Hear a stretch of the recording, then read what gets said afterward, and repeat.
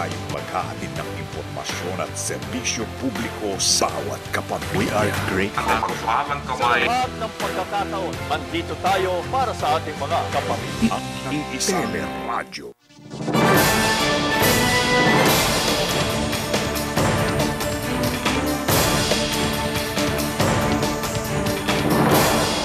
Sa headline Pilipinas, limang araw na PhilHealth holiday ikinasa ng ilang pribadong ospital sa Enero.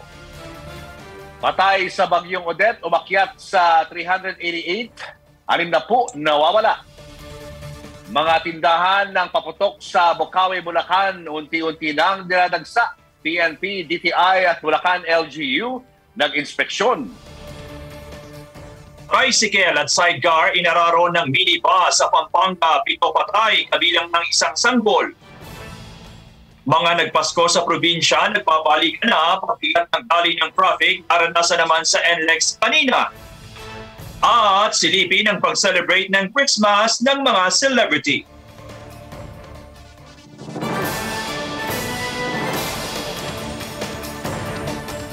Mula sa News Center ng ABS-CBN.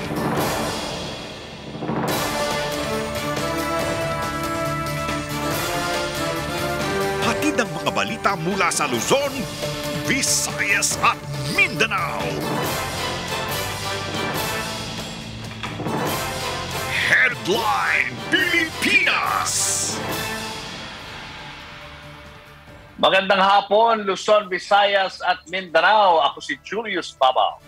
Sa pangalan po ni Tony Velasquez, ako si Johnson Manabat. At sa detalye ng ating mga headline Pilipinas.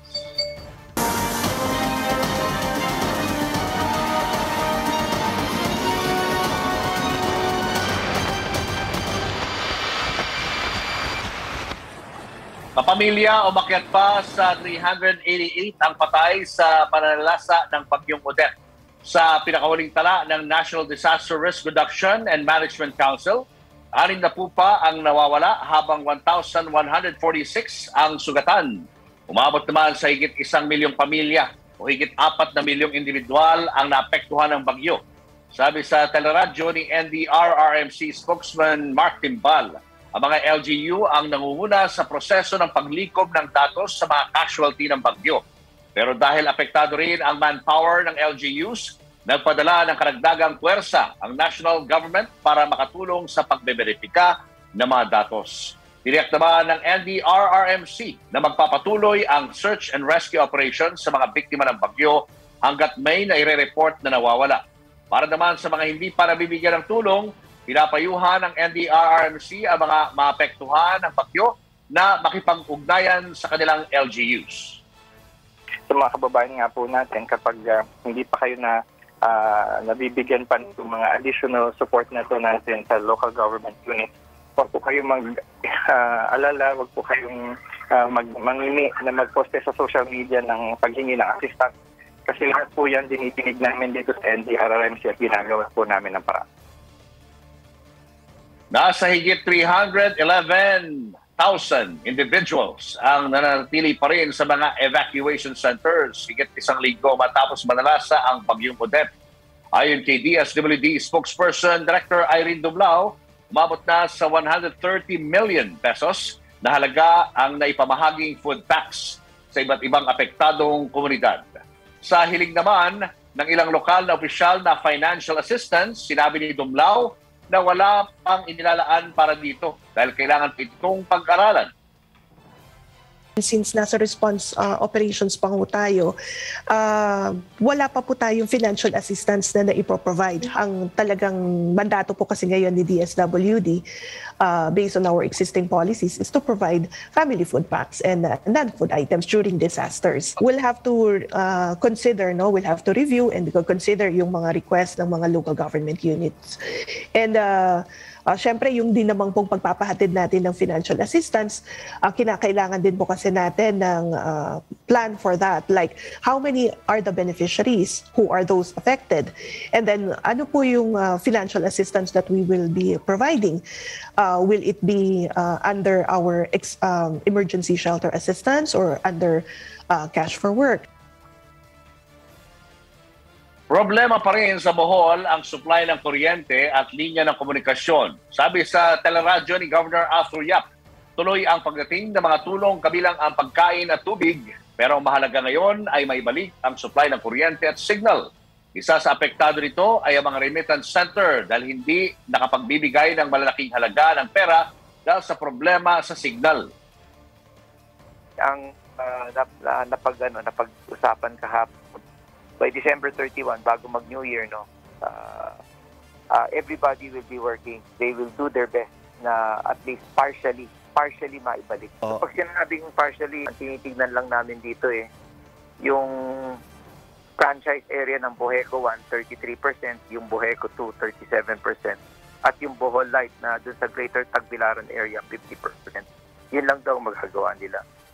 Tapos sa January 31, next year na po pag-uusapan at titignan. So, hanggang ngayon hindi nila ako mabigyan ng ng date, no? Tapos yung telco at saka yung smartphone at saka globe, nananawagan kami na kung pwedeng bilis-bilisan lang sana yung repair dito. Oo. Yun So- ang so- critical ngayon eh. Sinabi naman ng gobernador na may supply ng bilihin sa mga grocery pero pagdating sa gasolina, ipinatawag na ni Governor Yap ang mga kumpanya ng langis para alamin ang tunay na sitwasyon dahil ayon anya kay Secretary Alfonso Pusi, sapat naman ang supply ng gasolina sa Kabisayaan. Plano na rin ni Governor Yap na magpatupad ng cash for work para tumulong sa cleaning operations sa probinsya. Sa ngayon, sinabi ni Yap na nasa 100,000 pa ang nasa evacuation center dahil wala pang mauwi ang bahay.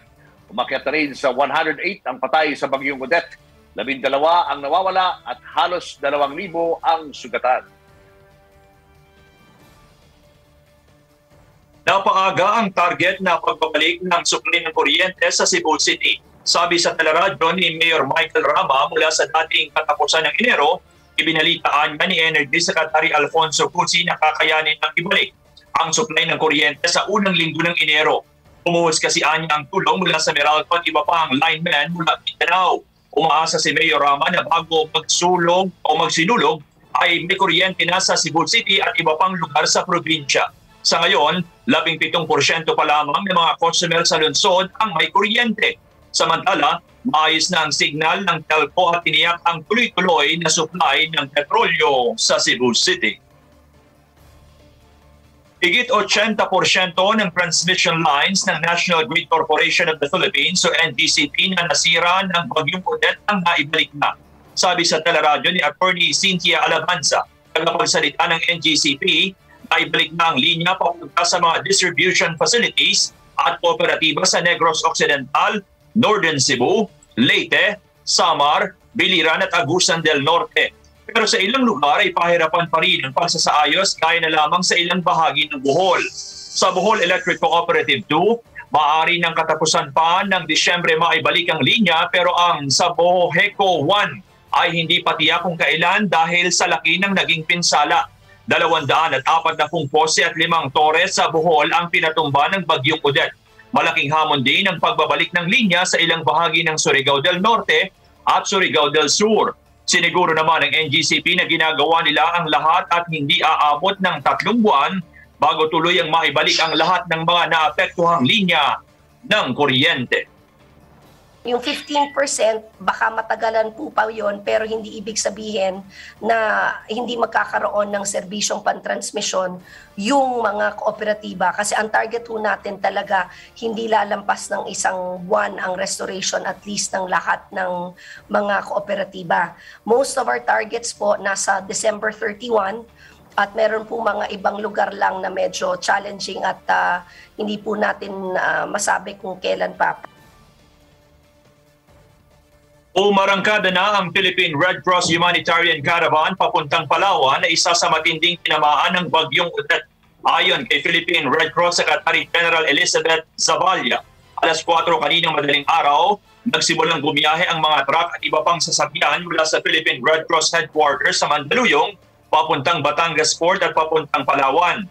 Panglimang caravan na ito ng Red Cross at nakapunta na rin sila sa iba pang lugar na sinalanta ng bagyong Odette kaya na lang sa Surigao at Bohol.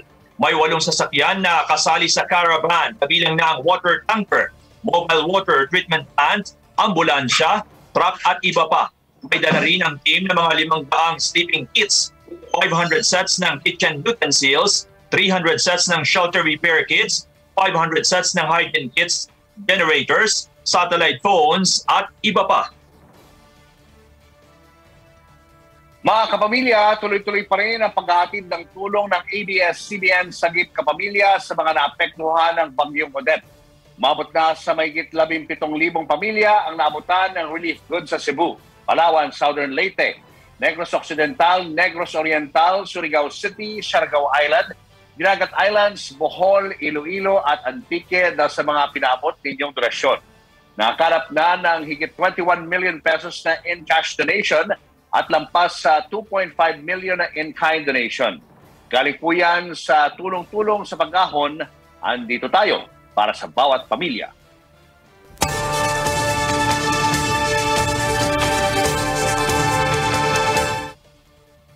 Medyo makulimlim po ngayon sa Metro Manila. Alamin natin ang lagay ng panahon ngayong huling lunes ng 2021. Mula sa ating ABS-CBN News resident meteorologist Ariel Rojas. Ariel, kamusta ang weather? Magandang tanghali sa iyo, Julius, sa ating mga kapamilya. Maulan ngayong araw sa malaking bahagi ng bansa. Halos buong araw po na maulap at may pag-ulan dahil sa shear line o tail end ng frontal system dito sa Metro Manila, Calabarzon, Mimaropa, Bicol Region, Eastern Visayas, Caraga, Aurora, Aklan, Capiz, Davao de Oro at Davao Oriental. Kapamilya, maging alerto dahil mataas ang banta ng mga pagbaha at pagguho ng lupa, lalo po sa may bahagi ng Quezon, Bicol at Eastern Visayas. Dahil sa amihan, maulan at malamig naman sa Cagayan Valley, Cordillera at iba pang bahagi ng Central Luzon. Malamig din pero maganda ang panahon sa Ilocos. Ngayong araw na itala sa 13.8 degrees Celsius ang lamig uh, sa Baguio City, 17.8 degrees naman sa Basco at 19.2 sa Tanay, Rizal.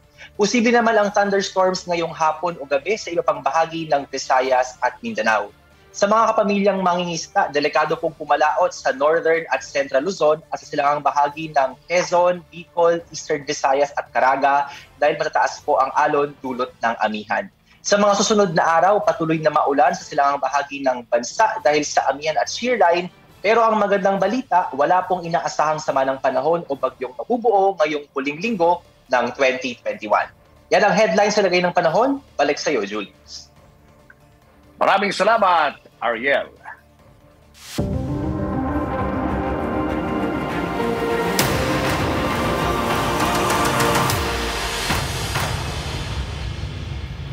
Nangangamba ang isang eksperto na muling tumaas na naman ang kaso ng COVID-19 sa bansa. Sinabi sa teleradyo ni Dr. Maricar Limpin, pinuno ng Philippine College of Physicians sa posibleng sa ikatlong buwan ng Enero, makita ang lalo pang pagtaas ng kaso na niya ay maaring dahil sa paglabas ng mga tao at mga pagtitipon ngayong holiday season. Nauna nang sinabi ng Octa Research na tumaas na ang reproduction number o bilang ng nahahawa ng bawat positibo sa COVID-19 sa Metro Manila. Naitala ang 0.70 reproduction number sa Kamaynilaan mula December 22 kumpara sa 0.42 noong December 15. Naitala rin ang pagtaas ng positivity rate o bilang ng mga nagpo-positibo sa tinetest sa COVID-19. Sa buong bansa mula December 21, muling sumampa sa higit isang porsyento ang positivity rate at patuloy pa itong tumataas.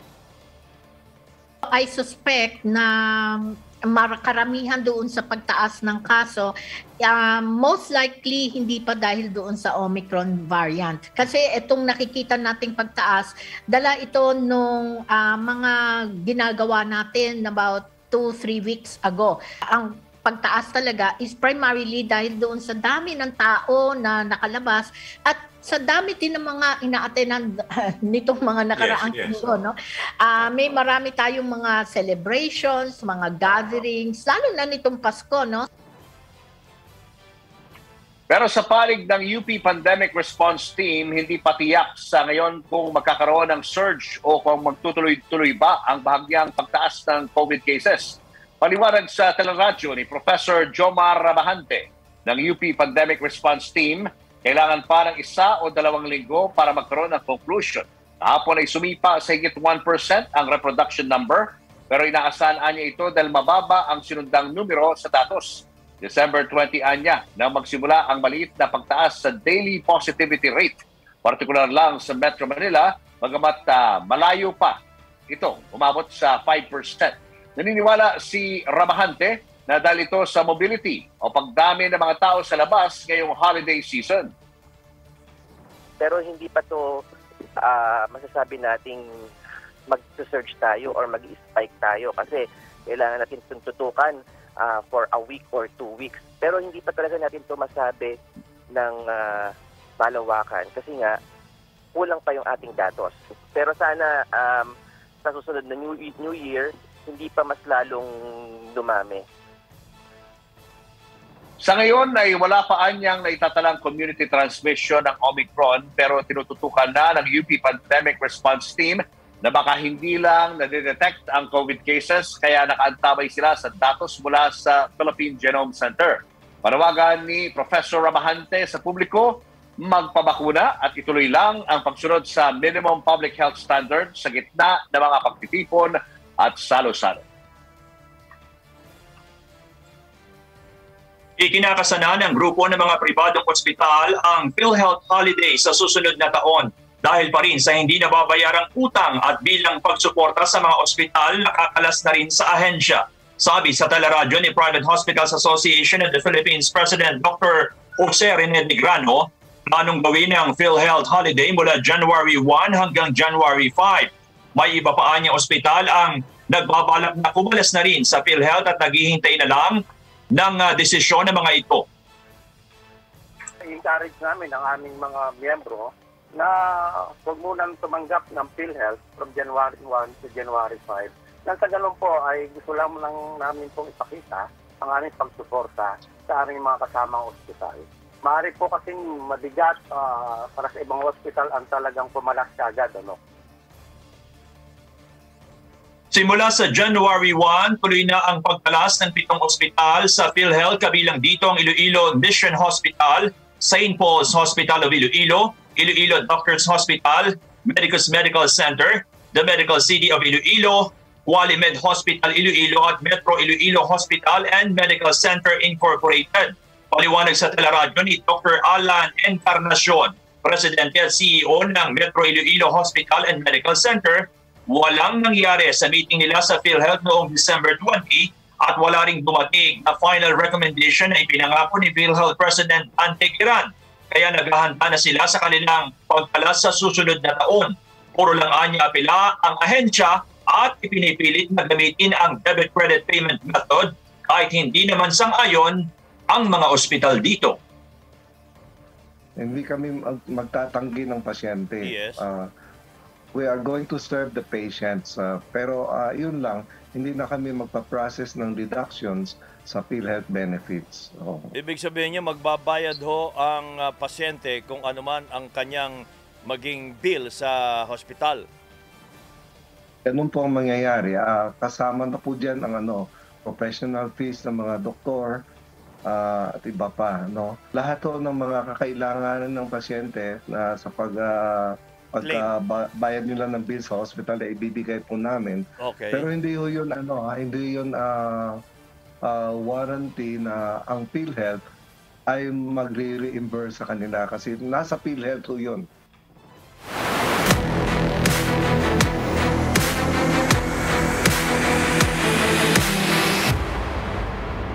Halos dalawang milyon pang doses ng COVID vaccines ng AstraZeneca ang dumating sa bansa kagabi. Dahil dito, mahigit sa 200 million doses na ng bakuna kontra COVID ang natanggap ng Pilipinas. Mahigit sa 100 milyon dito ay naiturok na. Simula ulit ngayong araw ang pagbabakuna ng gobyerno matapos ang tatlong araw ng Christmas break. Target ng mga otoridad na makapagbakuna ng 54 million na mga Pinoy sa pagtatapos ng taon. Sa ibang mga balita, pito ang patay ng makaladkad ng minibus ang isang tricycle at kolong-kolong sa Lubao, Pampanga kahapon ng hapon. Galing Bataan at papunta sanang San Fernando, Pampanga ang minibus nang salpukin ang nakaparadang tricycle at kolong-kolong bago bumangga sa waiting shed at poste. Kabilang sa mga namatay ang isang mag-asawa at kanilang isang taong gulang na anak na sakay ng tricycle. Siyam naman ang naitalang sugatan. Ayon sa ilang nakakita, mabilis ang takbo ng minibus Panawagan naman ng pulisya na mag-ingat sa pagmamaneho lalo't marami ang bumibiyahe ngayong holiday season. Maharap sa kasong reckless imprudence resulting to multiple homicide, physical injuries at damage to properties ang driver ng minibus na ginagamot na sa ospital. Anim naman ang sugatan kabilang ang tatlong minor de edad sa pamamaril ng tatlong sundalo sa Taguig City noong Pasko. Kinilala ang mga suspect na sina Captain Neil J. Maguddayaw, Probationary Second Lieutenant Filomeno Magundadayaw G. at First Lieutenant Minalin Awat. Sa investigasyon ng National Capital Region Police Office, nagiinuman umano ang tatlo ng pagmamatuhin sila ng bato ng mga biktima. Ikinagalit ito ng mga sundalo at dito sinasabing pinagbabaril ang mga biktima gamit ang M16 rifle. Dinala sa ospital ang mga biktima habang turn over sa Taguig City Police ang mga suspect. Ay kay Philippine Army spokesperson Colonel Trinidad, nakikipag-ugnayan na sila sa PNP kaugnay ng insidente. Nagsimulan na rin ng parallel investigation ng AFP para sa posibleng administrative case na isasampa laban sa tatlong suspect. Kaugnay niyan, iniimbestigahan na ng mga otoridad ang pamamaril ng tatlong sundalo nitong Pasko na nawi sa pagkasugat ng anim na sibilyan sa Taguig City. Sinabi sa teleradyo ni NCR Police Office uh, NCRPO, Public Information Office Chief, Lieutenant Colonel Jenny Texon na nag-utos sa na ang Regional Director na alamin ang facts of the case at tiniyak ang patas na investigasyon sa naturang kaso. Samantala, good news naman sa ating mga motorista matapos ang dalawang sunod na sirit ng rollback bukas sa presyo ng petrolyo ang pabaon ngayong huling linggo ng 2021. 85 sentimo ang bawas sa kada litro ng kerosene, 65 centavos naman sa diesel at 20 sentimo sa kada litro ng gasolina. Ang rollback ay dahil sa pagbagsak ng presyuhan sa world market gawa ng pagkalat ng Omicron variant na nagpa-lockdown sa ilang lugar sa Europa at China habang patuloy naman ang pagtaas ng kaso ng COVID-19 sa Amerika. Abangan, libreng sakay sa EDSA Bus Carousel, ipinanawagan ng mga commuter. At Maris Racal at Rico Blanco nagpakilig sa kanilang video kay duet. Yan at iba pa mga balita sa pagbabalik ng Headline Pilipinas.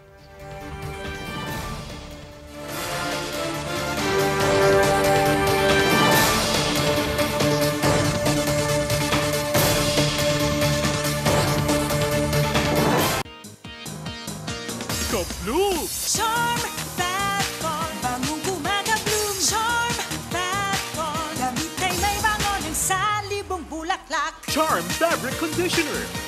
With Stay Fresh Technology, damit ay ka-bloom sa bango! Charm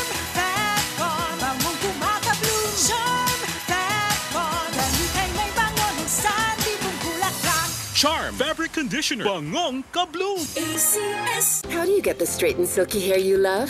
I blow dry it. I rebond it. Not afraid of damage? What damage? New Dove Straight and Silky with Keratin Tri-Silk Serum deeply repairs hair bonds for extra straight, extra smooth, extra shiny hair. New Dove. Star Wax,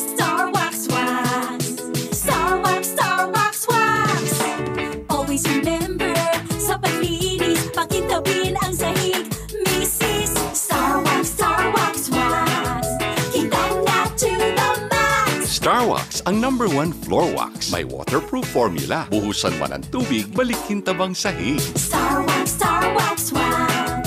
Kitang na to the max, max, max. ACS. Sa lahat ng bagay, simula pa lang, siguraduhing max protection na.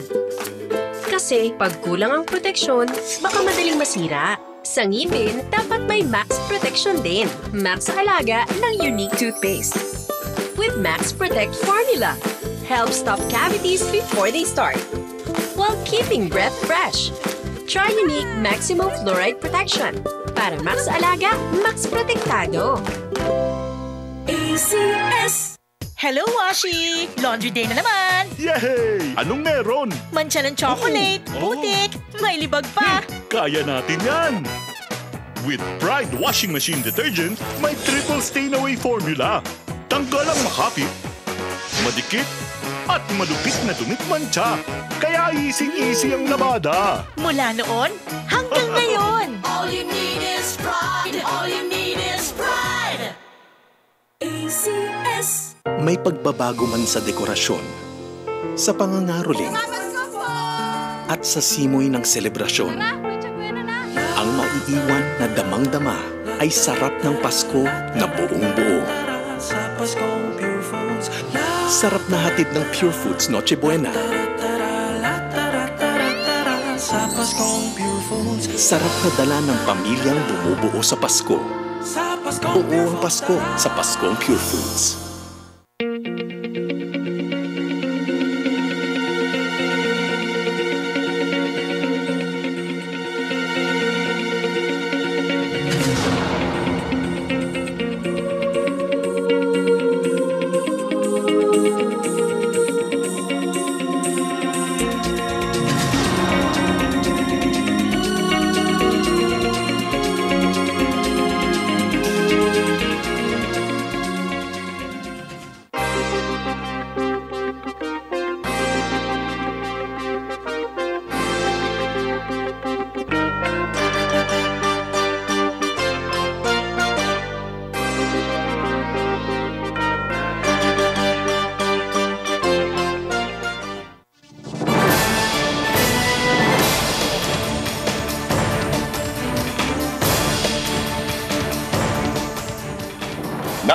Ang Headline Pilipinas in inspeksyon ng Philippine National Police, Department of Trade and Industry at Provincial Government ng Bulacan ang mga tindahan ng paputok sa Bukawe, Bulacan.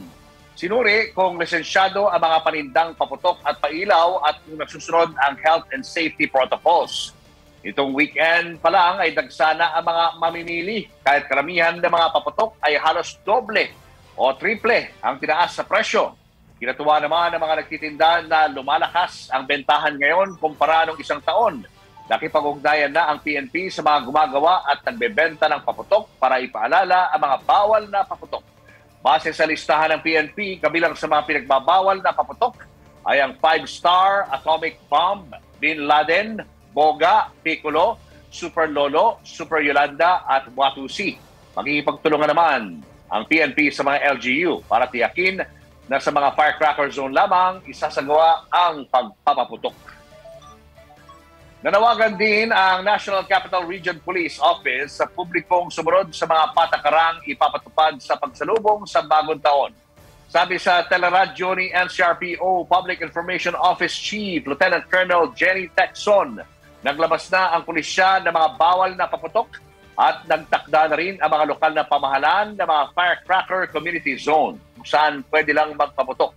Magpapakalat anya rito ng pulis ang NCRPO para masiguro ang kaayusan at pagsunod ng publiko sa mga pinapayagang paputok at pailaw. Pero kung ang NCRPO ang tatanungin, hanggat maaari, iwasan na ng publikong magpaputok. kahit po mayroon tayong mga inilabas na listahan sa NCRPO sir ay ini- ini-encourage pa rin po natin ang ating mga kababayan na kung hanggat maaari they should refrain from using firecrackers para rin po yan sa ating kasiguruduhan or ng ating publiko. So, maarami naman pong alternatibong pamaraan para po ma-celebrate natin ng ah, masaya, tahimik yung ating kapaskuhan or yung ating New Year's celebration. Babala ng NCRPO, kukumpiskahin at may multang ipapataw sa mga magpaputok ng bawal na firecrackers at magpaputok sa labas ng zones. Inimok din ng NCRPO ang publiko at mga pulis na maging responsable sa kanilang mga baril, lalo tumataas ang kaso ng indiscriminate firing sa salubong sa bagong taon. Balik trabaho na ngayong araw ng lunes, kaya dagsa na rin ang mga motoristang pabalik ng Maynila galing sa mga probinsya. Ayon sa North Luzon Expressway Command Center, nakaranas ng mabigat na daloy ng traffic sa bahagi ng NLEX kaninang umaga tulad na lamang sa Pulilan hanggang Balintawak na tumagal ng halos dalawang oras. Naipon kasi ang mga sasakyan sa mga toll plaza, partikular sa cash lane ng Bukawi. Mahaba rin ang pila sa Mindanao Toll Plaza. Gamat mabilis naman ang usad sa RFID lanes pero hindi maiiwasan maipon ng mga sasakyan sa mga choke points. Nagpakalat na rin ang isang libo at dalawang daang patrol crews, traffic marshals, security teams at toll lane personnel ang pamunuan ng NLEX para umalalay sa mga motorista. Pansamantala rin sinuspinde ang lahat ng construction at pagsasara ng lane sa kaba NLEX maliban kung kailangan ng agarang atensyon para sa kaligtasan ng mga motorista. Abiso ng pamunuan ng NLEX sa mga babiyahe para makapaghanda, i-check muna ang lagay ng traffic sa kanilang Facebook at Twitter page bago sila bumiyahe. Mahaba pa rin ang pila sa EDSA bus carousel kahit hindi na libre ang sakay. Karamihan ng mga maagang pumila, mga manggagawang balik trabaho pagkatapos ng Pasko. Noong Miyerkules pa, naningil ng pamasahe ang LTFRB dahil ubos na umano ang pondo na nakalaan para sa libreng sakay. Pero magtuloy-tuloy pa rin ang pagbibigay ng incentives at payout sa mga bus drivers na lumahok sa programa. 13 pesos ang minimum fare at kung buong biyahe o sasakay sa monumento hanggang sa PITX ay 72 ang singil. Kahit hindi na libre at mahaba pa rin ang pila, pinipili pa rin ng mga itong sakyan ng mga pasahero dahil mas mabilis para sa kanila ang usad ng pila kumpara sa MRT. Nanawagan naman ng ilang mga pasahero na ibalik na ang libreng sakay habang may pandemya pa o di kaya ay ibalik na iba pang mga alternatibong pampublikong transportasyon. Sa mga balak kong sumakay, inaabisuhan ng mga pasaherong maglaan ng dagdag na 30 minuto sa kanilang biyahe dahil nga po sa mahabang pila sa EDSA bus carousel. Dito po yung mabilis. Wala pong traffic. And kasi malaking tulong naman siya eh, yung walang pamasahe dito. Araw-araw din kasi yung biyahe dito. Less less budget ba? Okay. Opo, dapat maglagay na sila ng mga jeep kasi mas lalo lang umahaba eh. Nalilate na po kami sa paso. Dapat payagan na rin yung mga jeep na bumabanto para lang din mas umiksi yung pila. Tsaka hindi hassle sa mga pasahero. Mga kapamilya, ngayong sunod-sunod na naman ang kainan. Paano nga bang makakaiwas sa overeating, kabag at empacho? Sa panayam ng Teleradyo, aminado si Dr. Ray Salinel na hindi mapipigilang kumain ngayong holiday season, lalo't masarap ang kainan kapag magkakasama ang magkakapamilya at magkakaibigan. Dumami na niya ang kanyang mga pasyenteng dumanas ng indigestion ang ilan ay may tatlong party kada araw. Dami. Okay ni Dr. Salinel, ipinapaala payo po ni Dr. Salinel sa inyo. Kailangan uh, wag mo nang matulog kaagad, no? Uminom marami pong uh, warm water or kaya warm tea. Otherwise, pagka hindi po na digest, kabag-kabag, dighay-dighay, labas po yung hangin sa likod. Yan po ang mangyayari po sa atin. Hindi rin kayo makakatulog po ng maganda pag ganyan pong kinakabagan po tayo. Paalaala pa ni Dr. Salinel, mahalagang tikim-tikim lang ang pagkain. Gawin din ang in moderation o bawasan ang pagkain ng matatamis, maalat, masebo at makolesterol na putahe. Huwag din kakalimutan uminom ng maraming tubig at iwasan po ang soft drinks. Ugaliin na rin inumin ang mga maintenance medicine pero huwag anyang iasa ritong lahat. Okay lang naman yung kurot-kurot, no? Basta talagang isang kurot lang. Kasi baka mamaya kakakurot mo, nakasampung kurot ka na, isang plato na yon. Sinasabi ko nga sa mga pasyente ko, diabetic patients, no? Pag wala, maraming handaan, hayaan nyo na lang po yung pong uh, anak nyo or asawa nyo ang pumunta sa table para kumuha ng pagkain.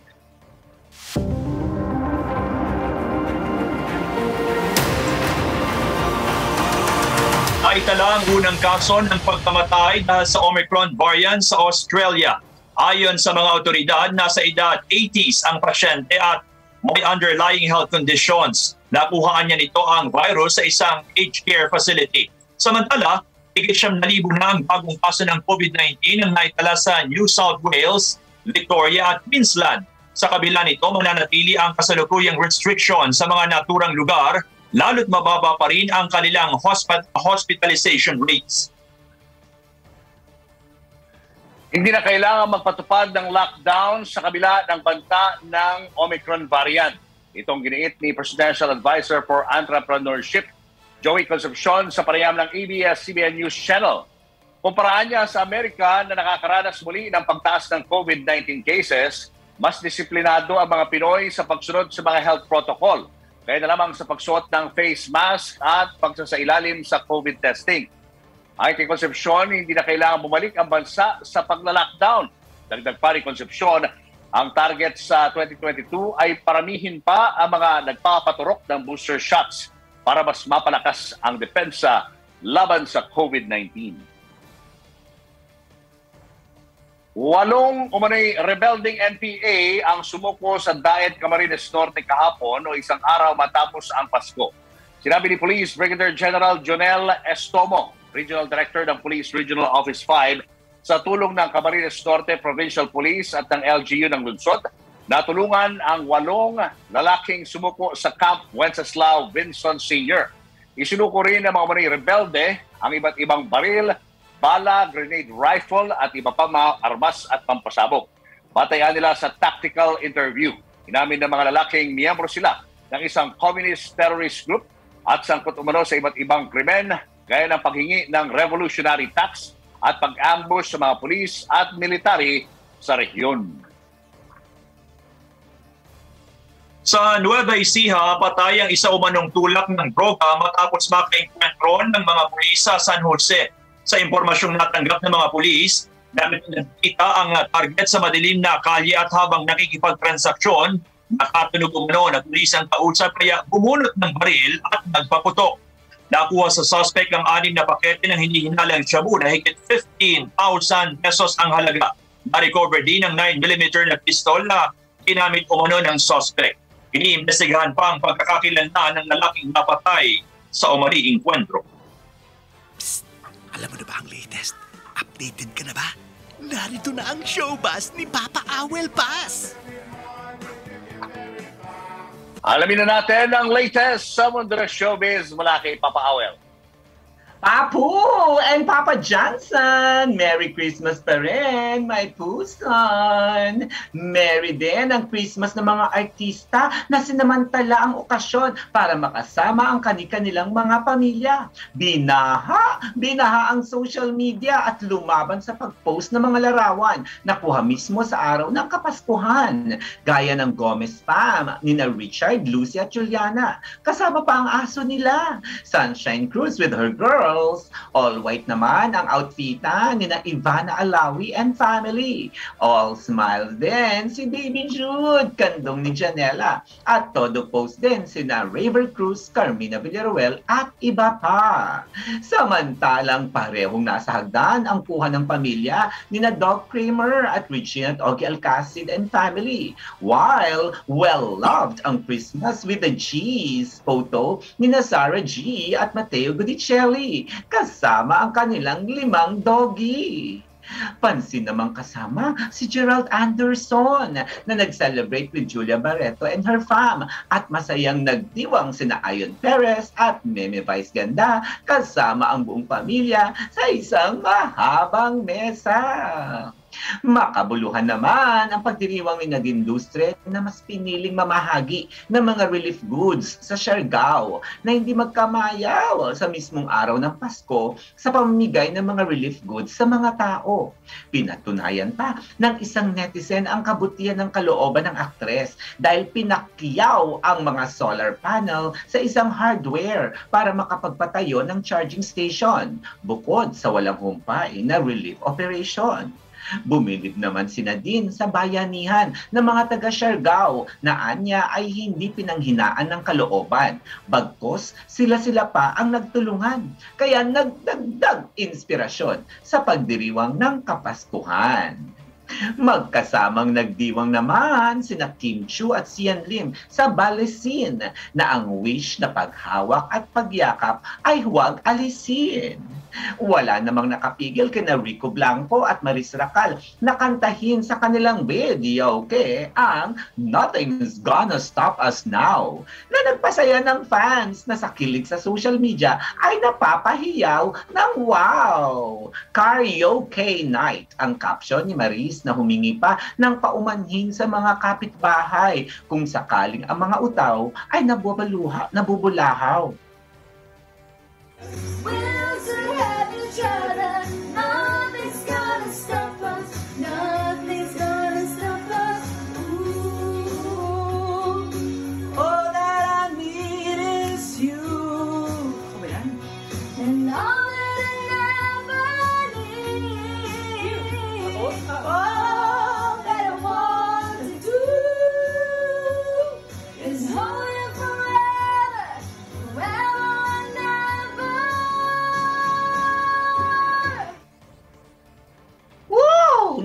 Pinalabas naman ng bahay ni Kuya ang PBB ex-housemates na sina Alexa Ilacad at KD Estrada matapos makakuha nitong linggo ng mga pinakamababang boto. Lima na lang ang naiwan ng mga celebrity housemates sa bahay ni Kuya na sina Brenda Mage, Angie Salvacion, Eliza Valdez, Samantha Bernardo at Madam Inuts. Kaya ang madlang fans, kung sino sa kanila ang big winner na mahihirang ay kilig na kilig at inaabangan dahil next week, week next weekend na malalaman. Miss na miss naman ni Sandara Park ang makapag-perform sa Pilipinas. Kaya sana raw ay makabalik siya ang wish niya this Christmas. Idinaan ni Dara sa Twitter ang kanyang emote na two years na siyang hindi nakakabisita sa Pilipinas dahil sa pandemya. Kaya sana raw ay makauwi at be on stage for you guys ang shoutout pa niya. Kaya shoutout na rin ng mga Merry Christmas pa rin to all kapamilya. At yan ang umi-headline sa Showbuzz. Ito si Papa Aawaw Paz para sa Headline Pilipinas. Back to you, my pusan. Thank you, Papa Awel. At sa mga balita naman sa probinsya mula sa Cebu, si RC Dalaget. RC, ano mga headline dyan? Julius, pagbakuna bato COVID-19, gipadayo na sa Visayas human sa Christmas break o sa Baguio. At mula naman Zamboanga City, Jewel Reyes. Jewel, anong mga headlines dyan? Johnson, Ciudad de Zamboanga, ya si subinivel de alerto kontra terorismo. Si Porqué sabi. Lahat ng yan sa pagbabalik ng Headline Pilipinas.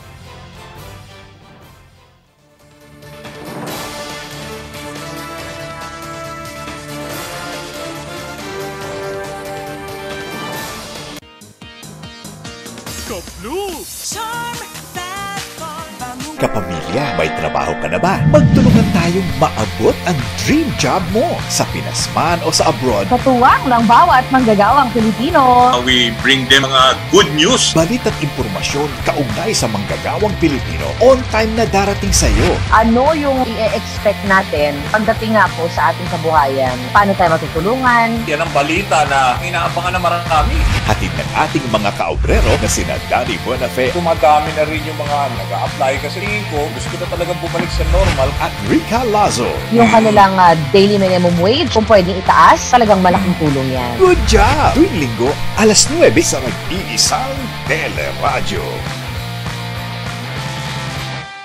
Saktong celebration tayo kapamilya dahil sa ating anniversary, mabilisan tayo sa pagsagot sa question. Walang mai-eliminate sa paglahok dito. Saktong pang-umagahan. Kaya mag-ready na para malaman po ninyo ang mga paghahanda na dapat nyong gawin para sa ating kaunting kasiyahan dito sa Sakto. Lahat ng kapamilya nationwide ay pwedeng sumali. Sa oras ng programang Sakto, mag-log on sa joinnow.ph slash sakto o iscan ang QR code na makikita sa inyong screen. Pabilisan tayong sumagot sa multiple choice quiz, Johns. Sa makasasagot ng tama, ang inyong assigned player number pagka-log on ang aming ia-anunsyo sa programa. May regalong naghihintay sa inyong mga kapamilya. Kaya sumagot na sa mga quiz John ng Sakto. Dito lang sa nag-iisang Tele Radio. Promo runs from October 29 to December 31, 2021 as per DTI Fair Trade Permit number FTEB 129969 series of 2021.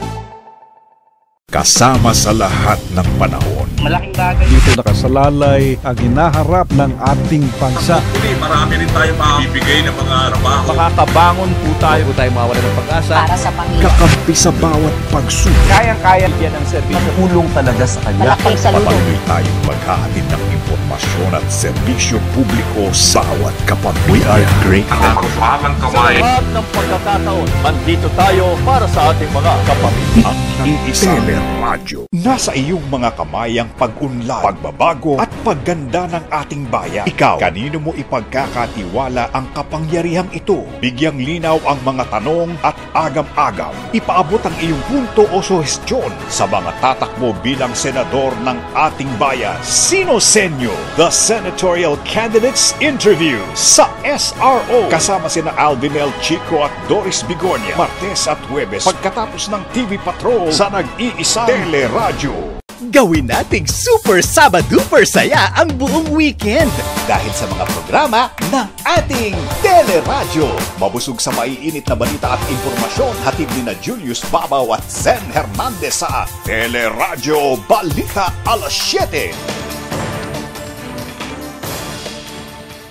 Nagbabalik ang Headline Pilipinas, mahigit isang linggo matapos bayuhin ang bagyo. Kumustahin na natin ang pagbangon ng iba pang probinsya sa Visayas. RC, kumusta ang mga kuryente sa mga lugar dyan? Julius, tuloy-tuloy ang rehabilitasyon sa Negros Oriental. Sinabi ni Provincial Information Officer Bimbo Miraflor na may supply na ng kuryente sa ilang lugar at nadadaanan na rin ang lahat ng kalsada. Bukas na rin ang ilang pamilihan, pati ang mga mall sa Dumaguete City. Sapat din anya ang kanilang supply ng gasolina. Kaya walang pila sa mga gasolinahan. Kinumpirma naman ni Miraflor ang pagkamatay ng isang lineman sa bayan ng Tanhay. Magpapadalaan niya ng tulong pinansyal ang LGU sa pamilya ng biktima. Nag-iwan ng matinding pinsala ang bagyong Odette sa barangay Banahaw, Buntok, Southern Leyte.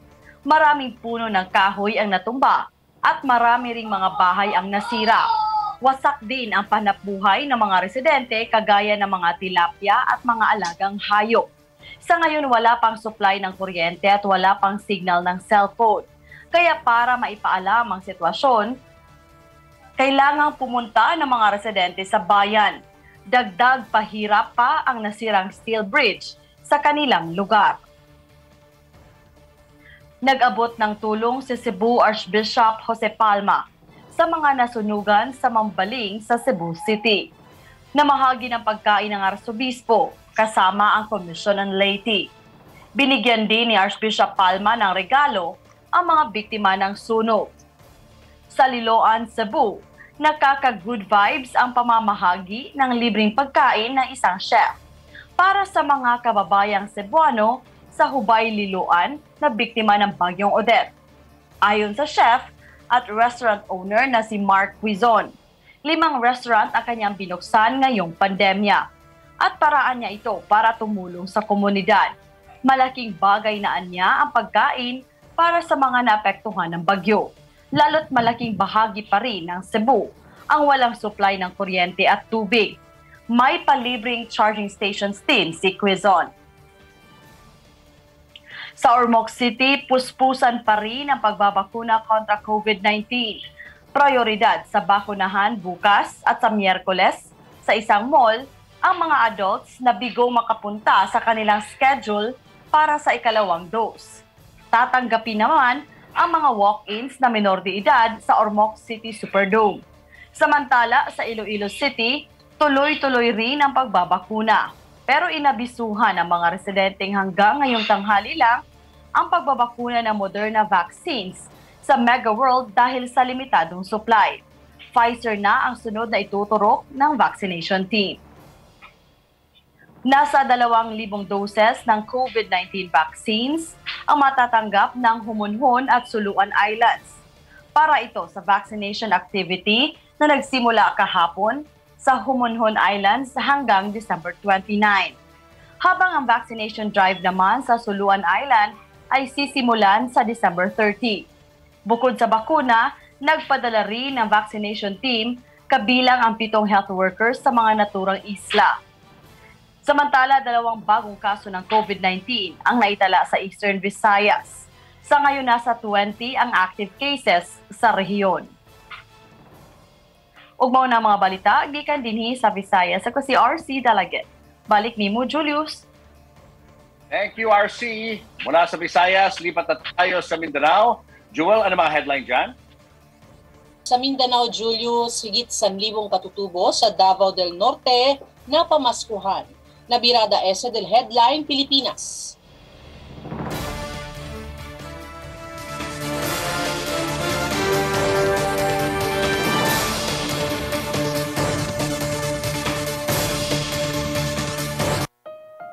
May kapamilya tayo. Makakasama anumang pagsubok. Ang ating kaharapin. Ang wish namin sa bawat kapamilya ay magkaroon ng masaya, Masaganang Pasko at bagong taon.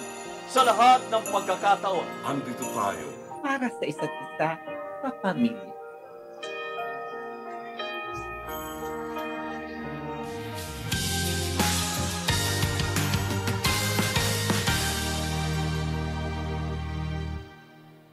Inuubo at makati ang lalamunan ko. Baka allergy lang. Parang nahihirapan akong huminga. Baka pagod na nervous lang. Kapag nakaramdam po tayo ng sintomas, Maging mahinahon lang po tayo at obserbahan muna ang nararamdaman. Kapag hindi po agad bumuti ang pakiramdam, Huwag magamba. Magpakonsulta.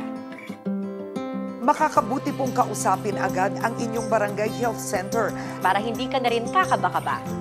Alam po natin na ito'y maaaring isang malaking abala. Pero mas malaki pong problema kapag tayo ay lumala. Makahawa ng iba at lalo na po ng mga bata. Kaya po natin para sa kanila. Kilalanin at mahalin ang kalikasan para sa mas maunlad na kinabukasan. It's about you and everyone working in love. Are you ready to share the love? Mag-enjoy na at balikan natin ang paglilibot sa bansa ni Gina Lopez. From the mountain, we are now in the island. Ibahagi naman natin ang love kasama si Ernie Lopez. Mga kapamilya! Tanim tayo ng mangrove, tapos mag-coastal cleanup tayo. G Diaries. Importante sa pag-unlad ng ating bansa, pagmamahal. Lahat tayo magtutulong-tulungan. Pagmamahal to ng kababayan natin. Tuwing Miyerkules, alas 3, dito sa nag-iisang Teleradyo.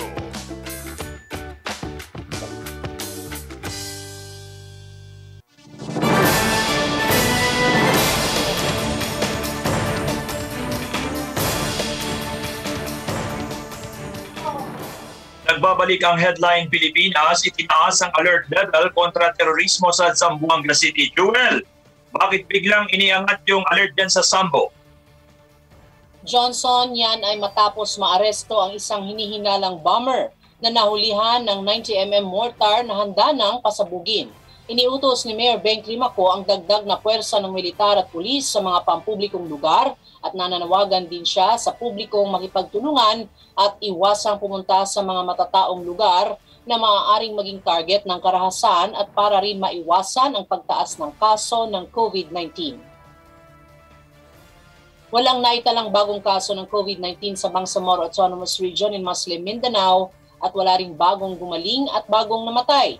Sa ngayon, nasa 54 ang active cases sa rehiyon para sa kabuuang 15,540 na kumpirmadong kaso. Tuloy-tuloy ang pagpapadala ng tulong ng Davao City LGU sa mga napuruhan ng Bagyong Odette. Isang medical team ng Davao City Central 911 ang ipinadala sa Barangay Lawis sa Inabanga, Bohol. Nagpadala rin ng rescue and medical team sa Lubok bukod pa sa donasyong mga gamot. Nagpaabot din ang Davao Chinese businessman ng relief goods sa Camiguin. May nagpaabot din ng relief goods sa mga taga-Dinagat Islands. Mahigit sa libong katutubo sa Davao del Norte ang nakapamasko mula sa Tagum City LGU. Malaki ang pasasalamat ng mga lumad mula sa tribong Atam Manobo dahil nabigyan sila ng mga pagkain at food packs galing pa sa mga karatig na bayan ng Talaingod, Kapalong at Santo Tomas ang mga lumad. Libre rin ang transportasyon ng LGU sa mga katutubo pauwi sa kani-kanilang mga komunidad. Yes, ang mga notisya sa Kinamindanao, iyo si Jewel Reyes. Balik sa iyo, Johnson. Muchas gracias, Jewel. Sa kapapasok lamang pong balita na itala ikaapat na kaso ng Omicron variant sa Pilipinas. Ayon kay health spokesperson Maria Rosario Vergere, ang pasyente ay isang 38 anyos na babaeng nanggaling sa Amerika at dumating ng bansa noong December 10 sakay ng Philippine Airlines Flight PR-127. Lumabas na sa isolation facility ang pasyente noong December 24 dahil wala ng sintomas at kasalukuyang naka-home isolation. Sinabi na rin ni Yusek Vergere na nanatili sa minimal risk ang COVID cases sa bansa pero may pagtaas ng kaso sa National Capital Region.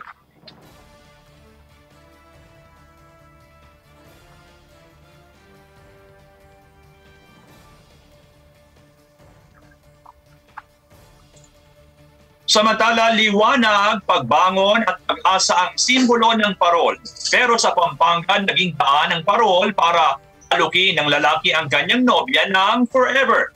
Taon-taong gumagawa ng giant parol ang 26 anyos na si Mark Nino Tizon Flores. Pero ngayon, mas espesyal ito dahil bukod sa pasasalamat sa mga frontliner ang tema ng kanyang parol, dito rin niya naisipang itaan ang wedding proposal sa kanyang longtime girlfriend si Rosel Pagkabigay niya ng bouquet sa nobya, pinailawan ng parol sa siya lumuhod at nagbigay ng singsing.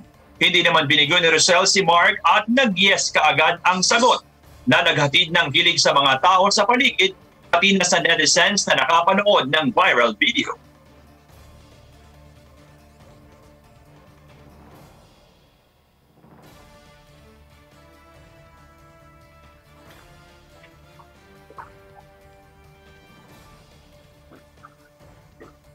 Ayan, paring Johnson, mukhang uh, yan na ang uh, laman ng ating mga balita ngayong araw ng uh, lunes. Uh, Merry Christmas sa iyo, Johnson, at sa iyong pamilya.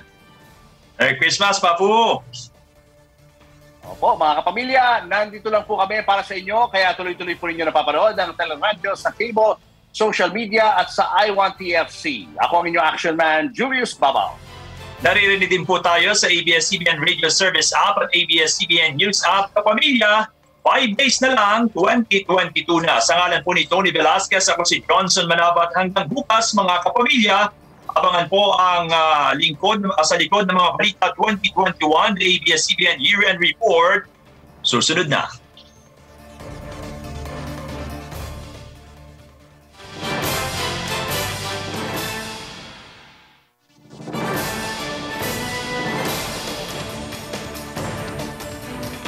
Kasama sa lahat ng panahon. Malaking bagay. Dito nakasalalay. Kapamilya, may trabaho ka na ba? Magtulungan tayong maabot ang dream job mo sa Pinas man o sa abroad. Katuwang ng bawat manggagawang Pilipino. We bring them mga good news. Balit at impormasyon kaugnay sa manggagawang Pilipino on time na darating sa iyo. Ano yung i-expect natin pagdating nga po sa ating kabuhayan? Paano tayo matutulungan? Yan ang balita na inaabangan na marami.